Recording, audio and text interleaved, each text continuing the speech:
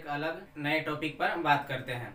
आज का जो मुख्य टॉपिक है, वह है वैज्ञानिक उपकरण, यानी वैज्ञानिकों द्वारा साइंटिस्ट द्वारा कौन कौन से ऐसे महत्वपूर्ण यंत्र, यानी मशीन यानी उपकरण की आविष्कार हुआ, यानी खोज हुआ, और उसे हम किन किन प्रयोगों में, अपने भविष्य में ला रहे हैं, या वर्तमान में ला रहे हैं? आइए इसे हम विस्तार पूर्वक समझते हैं। पहला, उड़ते हुए विमान की ऊंचाई, यानी उड़ते हुए कोई भी हवाई जहाज़, हेलीकॉप्टर ये सब कितना ऊपर ऊंचाई पर उड़ रहा है, इसे हम मापने के लिए किस उपकरण का प्रयोग करते हैं? तो इसके लिए हमें अल्टीमीटर का उपयोग हम करते हैं। अल्टीमीटर, उड़ते हुए विमान की ऊंचाई जो है, अल्टीमीटर में हम मापते हैं। अल्टीमीटर में हम मापते हैं।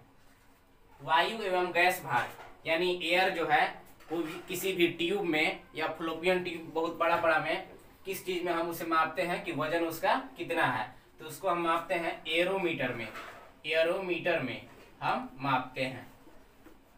अपने वर्तमान युग में हम इसका उपयोग कर रहे हैं। ध्वनि की तीव्रता, यानी आवाज़ जो है वॉल्यूम साउंड यानी वो कितना स्पीड से, कितना तेज़ी से हो रही है, चल रही है, उसका तीव्रता कितना है?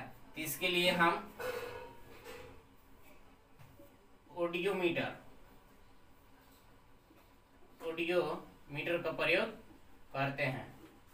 ध्वनि की तीव्रता सुनने के लिए, सुनने के लिए कानों में, मनुष्य के कानों में सुनने के लिए हम ऑडियो फ़ोन का उपयोग करते हैं। ऑडियो फ़ोन का उपयोग करते हैं, जिससे हमें पता चल जाता है कि हमारे कानों में कितना तेज़ी से ये ध्वनि आ रही है। वायु दाब मापने में वायु दाब बैरोमीटर का उपयोग करते हैं। बैरोमीटर का उपयोग हम करते हैं। विद्युत धारा, यानी इलेक्ट्रिक करंट विद्युत धारा मापने में कि हमारे घर में बिजली खपत कितना हो रही है, इसके लिए हमें विद्युत धारा को हम एमीटर में मापते हैं। एमीटर में हम मापते हैं। उष्मा की मात्रा ज्ञात करने में, यानी हमारे शरीर में अगर हम पूरी संतुलित आहार भोजन लेते हैं तो एक बार में कितना एटीपी बनाता है?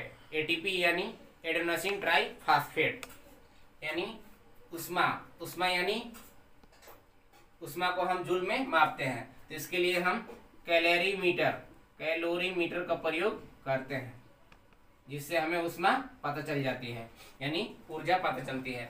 गणितज्ञ समस्याओं को हल करने में, यानी मैथमेटिकल कैलकुलेशन करने में हम कंप्यूटर का उपयोग अपने जीवन में बहुत तेज़ी से कर रहे हैं। कंप्यूटर का उपयोग हम कर रहे हैं। गणितज्ञ समस्याओं को हल करने में एवं गणनाओं करने में, यानी काउंटिंग करने में। समुद्र की गहराई, समुद्र की जो गहराई है कि उसका तह, यानी दह, तल उसका कितना है समुद्र में, यानी सी में तो उसके लिए हम फेदोमीटर का उपयोग करते हैं। फेदोमीटर का उपयोग करते हैं।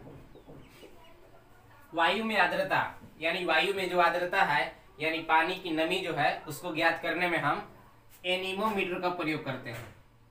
एनीमोमीटर का प्रयोग करते हैं।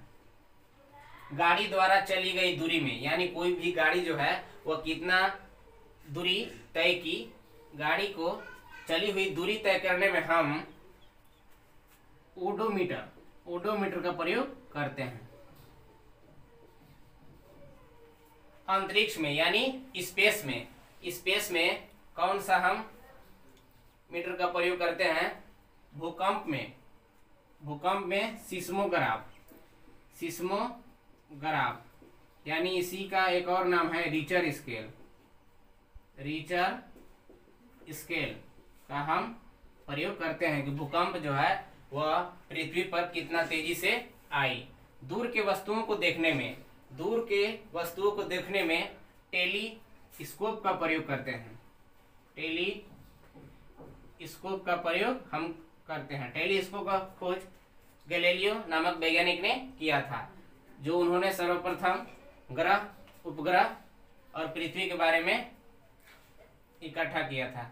गति को मापने में, गति को यानी कोई भी जो चालक है, जैसे वो गाड़ी को चलाता है तो कितना स्पीड से गति कर रही है, कितना फास्ट रनिंग कर रही है, उसके लिए हम स्पीडोमीटर का प्रयोग करते हैं। स्पीडोमीटर का प्रयोग हम करते हैं।